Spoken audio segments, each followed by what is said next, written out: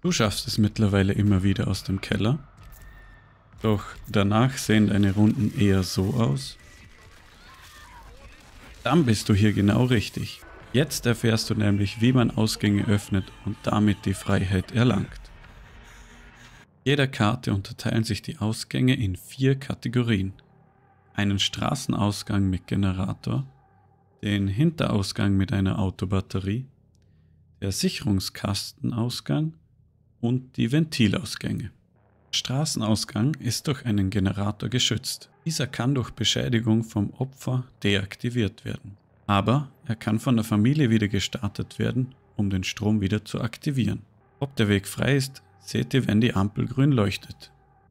Auch der Hinterausgang ist wieder durch eine Stromquelle, dieses Mal eine Autobatterie, gesichert. Zuerst müssen wir dazu den Strom von der Autobatterie trennen. Danach muss jedoch immer noch das Schloss mit einem Dietrich geöffnet werden, um erfolgreich zu entkommen. Auch hier können Familienmitglieder wieder den Zaun unter Strom setzen. Ob ihr entkommen könnt, seht ihr wieder am grünen Licht. Und auch bereits aufgeschlossene Tore bleiben offen. Hier müsst ihr nur auf den Strom achten.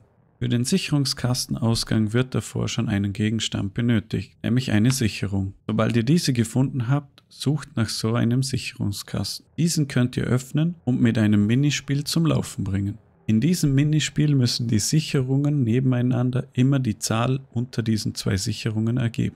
Habt ihr dies geschafft, könnt ihr den Sicherungskasten aktivieren und der Ausgang öffnet sich. Beeilt euch jedoch, der Ausgang bleibt nicht für immer offen.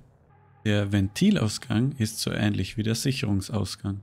Hierzu müsst ihr zuerst ein Ventilrad finden. Wenn ihr dieses habt, könnt ihr zum Druckbehälter gehen, der das Tor öffnet. Nach einiger Zeit öffnet sich das Tor von selbst. Aber Achtung, auch hier können die Familienmitglieder das Ventil wieder zudrehen, um den Druck zu verringern und das Tor zu schließen. Das waren also die vier Ausgänge. Ich hoffe, das Tutorial hat euch gefallen. Dann lasst doch gerne ein Abo und ein Like da. Habt ihr noch andere Fragen? Meldet euch gerne in den Kommentaren. Und bis dahin, gute Flucht!